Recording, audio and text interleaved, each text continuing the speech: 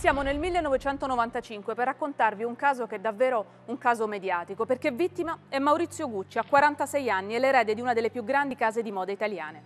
In realtà è una società in crisi, tanto che Maurizio stesso è costretto a cedere le quote ad una finanziaria araba. Poi c'è Patrizia Reggiani, la sua ex moglie, che infatti accusa Maurizio di non essere stato in grado di gestire la pesante eredità della Maison Gucci. Parleremo quindi, come è evidente, di soldi, di denaro, di grandi proprietà miliardarie, dalla casa di St. Moritz al magnifico veliero, il Creole, 65 metri di lunghezza. Ma parleremo anche di passioni, naturalmente, in questa storia. Una storia che sembra davvero uscita dalle pagine di un grande romanzo e invece è una storia vissuta sulla pelle delle persone vere che in modo alternato saranno le vittime e i carnefici.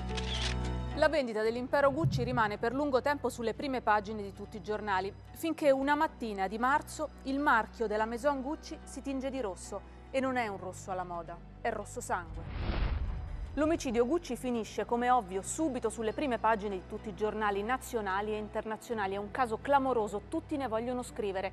Lo definiscono il delitto del jet set, consumato all'ombra di una dynasty degli stilisti fiorentini anche perché questo omicidio arriva al culmine di un'esistenza felice.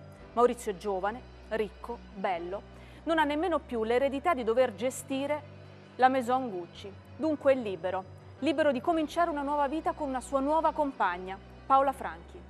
Ma il 27 marzo 1995 questo sogno si spezza a Milano.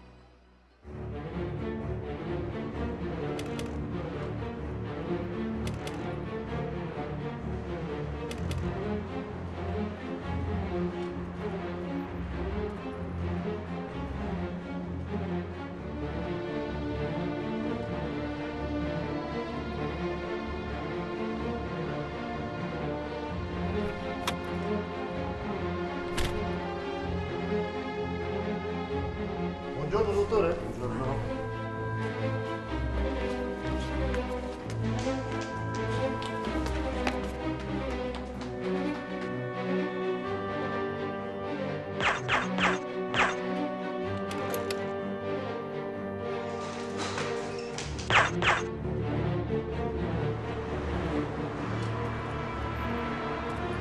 Vai, vai!